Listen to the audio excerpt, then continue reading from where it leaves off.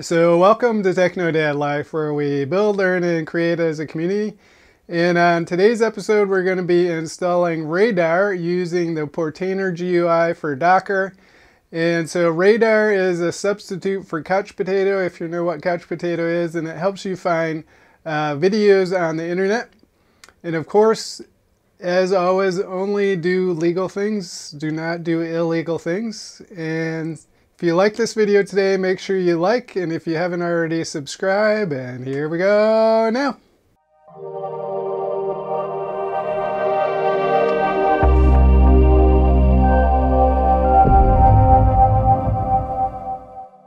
And a special thanks to all my patrons who, without your support, this channel would not be possible. And if you haven't already, please think about becoming a patron and supporting the channel you love. Thank you.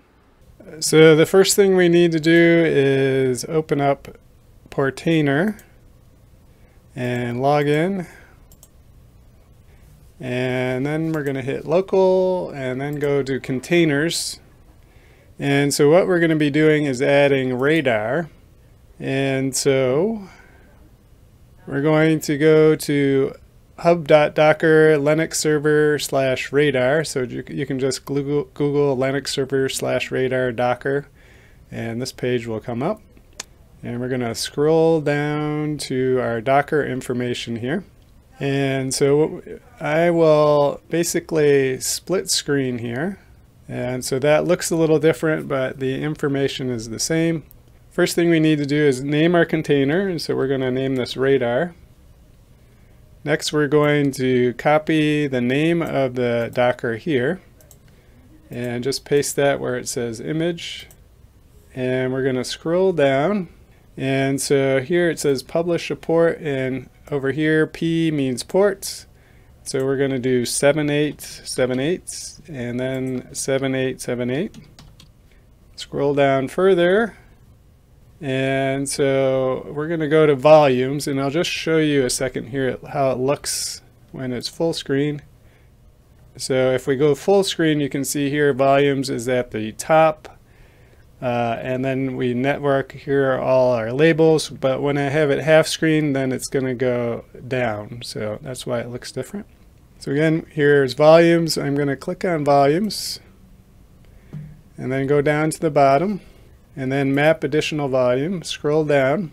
And so here we have three volumes on our right. So we have the config movies and then the downloads. So first we're going to put slash config and we're going to put bind. And so for this we need to know our host path for our volumes.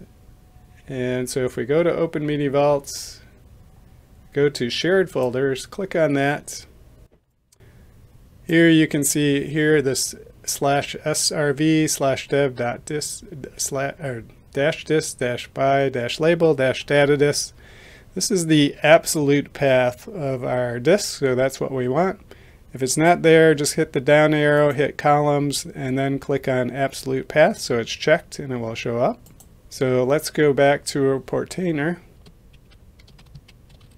So we have our name of our disk now in, so we're going to hit slash. We're going to put in app data for our app data folder, and then we're going to put slash radarr and slash, and so that will make a folder inside of our app data folder for radarr. And so if we look at our Open Media Vault uh, folders, you can see inside of there we have our app data, which is our config folder, downloads, and media. And so then for the config, this will be made into the app data folder and it will make a radarr folder. Now we're going to hit map additional volume. This one is slash movies. And we're going to hit bind again and then copy the label for our host path. And then we're going to hit slash media slash movies and then hit slash and if we go to our folders here you can see I have a media folder that's the first one and we have a movies folder so that's going to go inside of the movies folder and then we're going to hit add additional volume. And so this one you can see is slash downloads. So we're going to put slash downloads. Hit bind. Again, paste our path. And so this one is going to be downloads.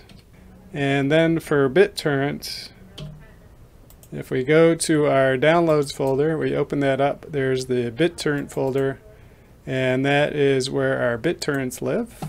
So we're going to add in slash BitTorrent to find those folders, and then hit slash. So next we're going to scroll back up, and so the next tab is Networks, and it's in bridge mode, and we're just going to leave it there. Environmental variables and so over here you can see we have three. So the first one is PUID and in general that's going to be 1000 for everyone. And then we're hit add environmental variables PGID and so how we would find those is we would open PuTTY put in our server address which for me is 41 open that up, log in as root, and your server name, or your server password, excuse me, and then type in ID and your username. And so here you can see our UID is 1000 and our GID is 100. So there's our UID is 1000, so our GID was 100. And then UMask is 022, that's optional, we're not going to use that. Now we scroll back up again, click on labels, no labels to add, restart policy. So the restart policy is restart unless stopped. And so there you can see the restart policy is, and we're going to click unless stopped.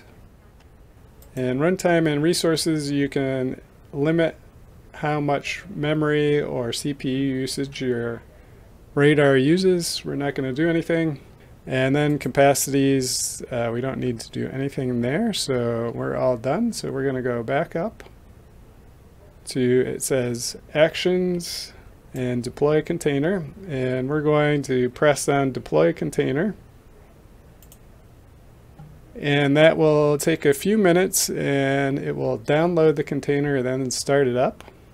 So now you can see radarr is up and running and if we click the piece of paper then our logs come up and looks like everything is running okay.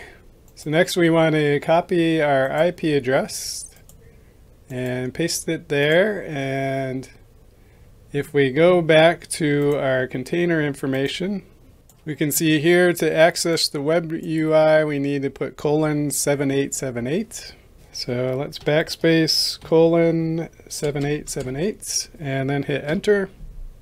And so now we are into radarr. And so what I'll do in the next video is I will uh, set up radarr because we needed to do actually do one more thing and that's actually set up an indexer for everything to work correctly in radarr. So I hope you found this video helpful, and if it, you did, make sure you like and subscribe and hit the bell button. And you have a great day, and we'll see you next time. Bye-bye.